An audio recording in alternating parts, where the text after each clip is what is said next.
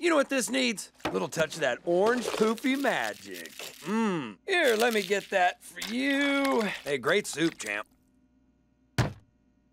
You guys, I just want to say, Grizz, Pan Man, and you, you guys are great. I've only been here for like three hours, and I already feel this connection, you know? Aw, it has been so cool getting to know you, buddy. And I know I speak for my whole family You don't speak for Ice Bear. when I tell you how much fun it's been having you stay with us in our little cave. Ah!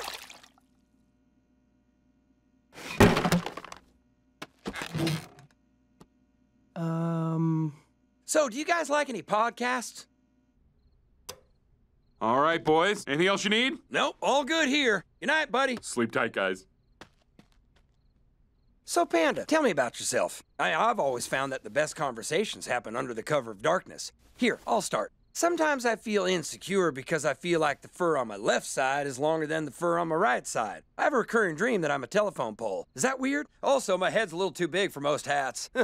so, why do you think you don't have a girlfriend? Wait, wait, before you answer, I gotta run to the bathroom real quick. Hold that thought.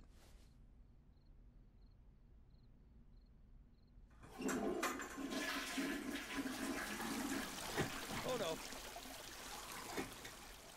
Uh, hey, man, hey, hey, sorry, quick question. Uh, what should I do if the water in the toilet isn't in the toilet anymore?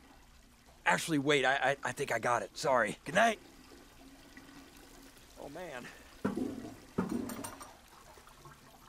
Update. So now the water is sort of everywhere and it's moving into the living room. Thoughts? Mm, I'm gonna try and put it back in. Just gonna borrow this real quick.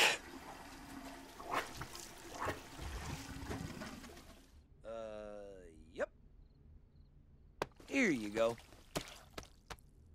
Also, you're out of toilet paper.